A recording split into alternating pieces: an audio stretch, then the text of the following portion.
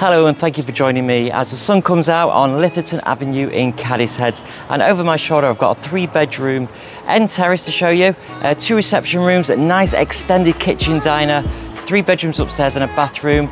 A corner, as you can see, comes with no chain and in need of certain amount of modernisation in this one. So great for a first time buyer looking to put their stamp on their own property. Come and have a look around and join with me on a property tour.